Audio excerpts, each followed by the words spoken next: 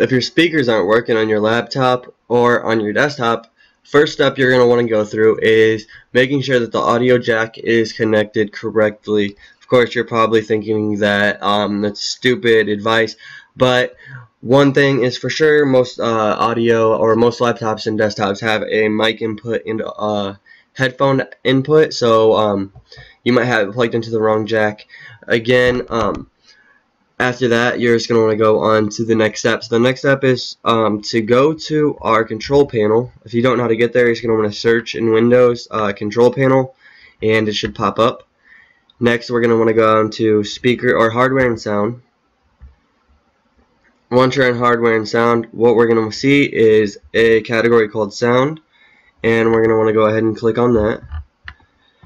And here we see speakers and headphones. What we're going to do is right click on it and click configure speakers and go through this configuration test. After you're done with that, you're going to exit out of it, go back, and go to properties. Make sure your levels are all the way up and make sure nothing's muted. And make sure you have immediate mode on under your enhancements. And under your advanced, you're going to want to make sure you have the highest sound quality that you could possibly get and that's just for um, testing. Once you see your computer or your speakers are working again of course you can go back through here and just change it back to your regular quality if you would like.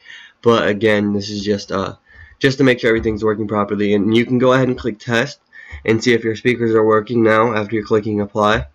But basically that's all we can do. So the last thing that I'm going to say um, is actually to go under this sound category and go to um, communications and make sure you don't have mute all other sounds. So when you go to here make sure this is right. Um, you can have reduce the volume to other sounds by 80% which I think this is the default. So just keep it here if it's there. And that's all. So just click OK. Uh, make sure you apply those settings. Click OK. Restart your computer and make sure it's working fine. If your headphones still aren't working I'd say it's a hardware or driver problem um, I would go to your manufacturer's website and once you're there you could find a category called support and under support it should say drivers and downloads.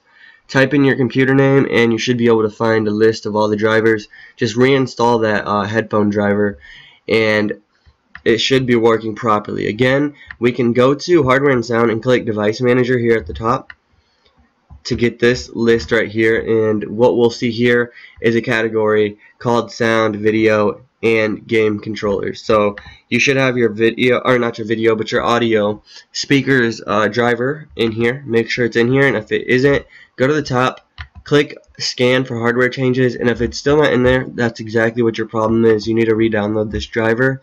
But if it is here and it's still not working right click it click properties go to driver and make sure you have it updated all the way.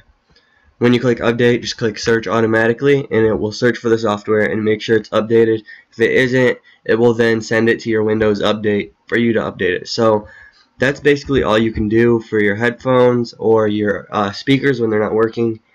Um, if you have any more questions, just leave them in the comment section below. And thank you guys for watching. Please subscribe and check out the rest of my videos. And have a good day.